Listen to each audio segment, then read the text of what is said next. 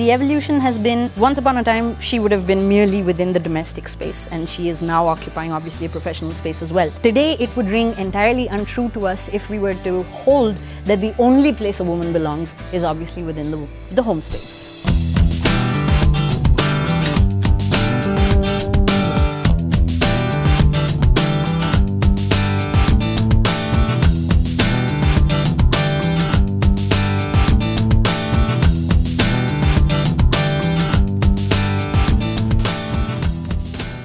ये बीविया मंगल सूत्र पहनती कामा सूत्र क्यों भूल जाती हैं यार?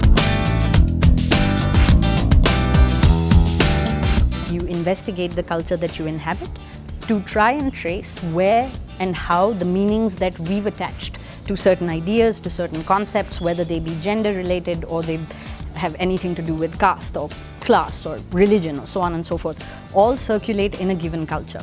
And the idea with a semiotic analysis is to try and investigate that culture, to try and decipher codes from it.